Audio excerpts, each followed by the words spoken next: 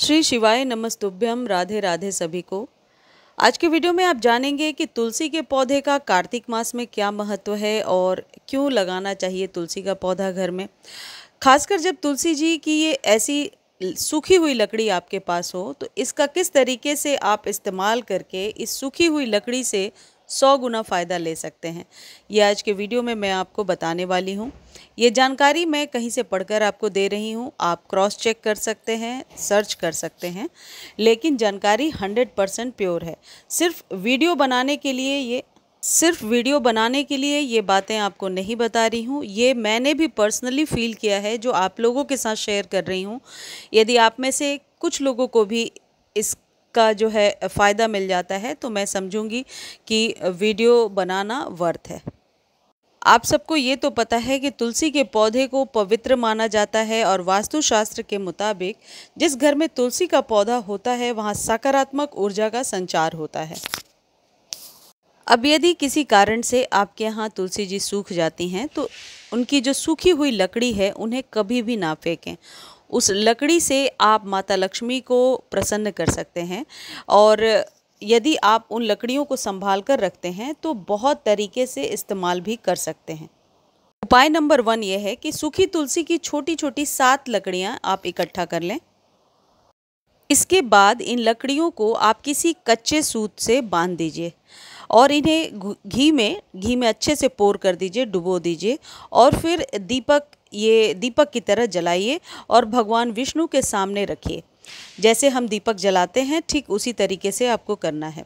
इससे वह अति प्रसन्न होते हैं और इस उपाय को एकादशी या फिर किसी भी मंथ के कृष्ण पक्ष या शुक्ल पक्ष की त्रयोदशी तिथि के दिन आप कर सकते हैं। यदि आप प्रदीप मिश्रा जी को सुनते होंगे तो उनके ये उपाय बहुत ही कारगर हैं, बहुत लोगों को फ़ायदा हुआ है। दूसरा उपाय क्या है कि तुलसी की सात लकड़ियों को एक साथ, यानी जैसे आप देख रहे हैं छोटी छोटी लकड़ियों को एक साथ, आप बाँध लीजिए।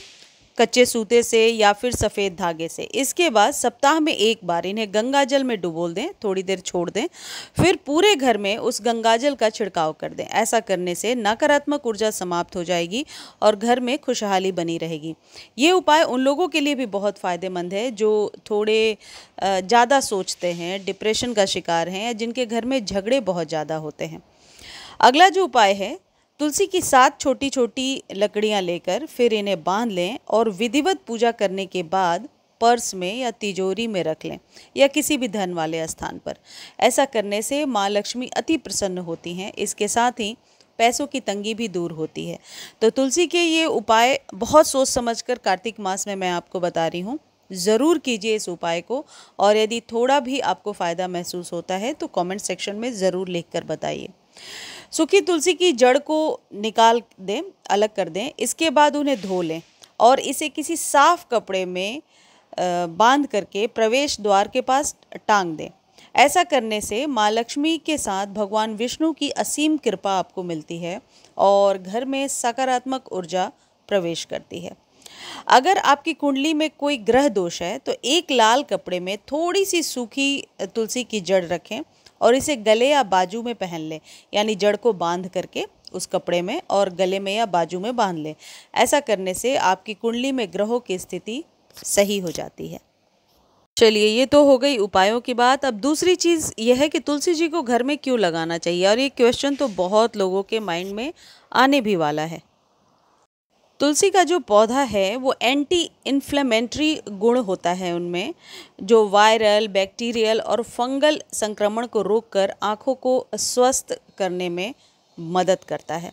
मैं बीच बीच में अलग प्लांट दिखा रही हूँ, क्योंकि एक ही तुलसी जी को कितना मैं दिखाऊँगी। तो आप लोग ये ना सोचें कि मैं अलग प्लांट दिखा रही हूँ, मैं तुलसी के बारे में ही बात कर रही हूँ। जो तुलसी जी की जो पत्तियाँ हैं उन्हें बॉयल करके यदि उनका काढ़ा आप पीते हैं तो आपको कफ़ में बहुत आराम मिलता है, आपके बॉडी को एनर्जी मिलती है, या और भी उसके बहुत सारे फ़ायदे हैं।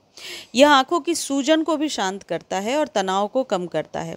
तुलसी एक प्राकृतिक माउथ फ्रेशनर है और एक मौखिक कीटनाशक के रूप में, कीटाणुनाशक जो होता है, उस रूप में भी काम होता है। यानी कि तुलसी के पत्तों को यदि आप मुँह में रखते हैं तो उससे बहुत सारी मुँह के अंदर की प्रॉब्लम सॉल्व होती है।